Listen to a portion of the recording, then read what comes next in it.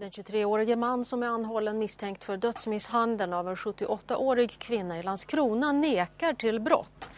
Enligt tidningen Aftonbladet säger hans advokat att 23-åringen inte förstår varför han är misstänkt.